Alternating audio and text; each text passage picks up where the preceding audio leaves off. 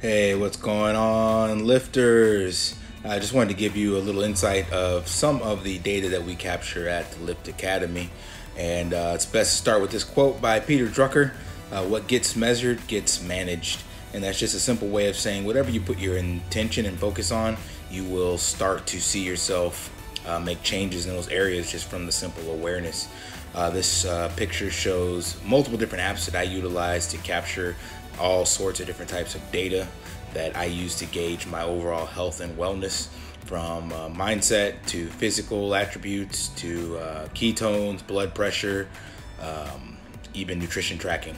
So, this is the Calm Meditation app that um, I've been using this year. Previously, last year, I used Headspace, and as of a couple days ago, I just got the Muse brain sensing app to even dive deeper uh, then this year I decided to go hard on ketones. So this is a ketone measurement tool where I actually have to prick myself and draw blood and test the actual blood ketones.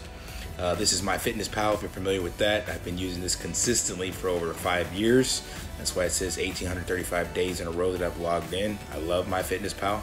Uh, this is our personal training app where all of your workouts are recorded. It's also synced to your Fitbit or your Garmin, tracks your body weight, body fat, uh, progress photos, calorie intake, um, BMR, body circumference, resting heart rate, blood pressure, all your workouts, just a whole bunch of stuff is tracked within the actual fitness app, which makes it easy to keep it all in one spot.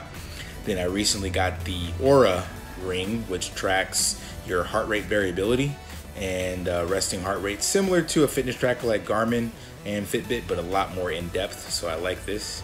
Um, this is a blood pressure monitor. Um, probably seen these if you've gone to the doctor before. I have my own, so I check my blood pressure. Um, this is a bioimpedance scale that tracks about eight different data points for body fat, BMI, even your metabolic age, um, and then muscle mass and water and some other stuff. The uh, same thing that tests the blood ketones also tests your blood glucose, which can help you determine which foods are spiking or elevating your blood glucose. Um, so that's just a good indicator for overall health as well.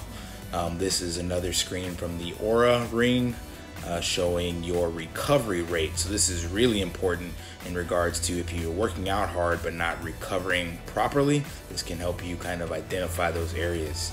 And then this again is just another screenshot of all of them put together um, some different parts of the apps. So all in all, I probably have about five to seven different tracking apps.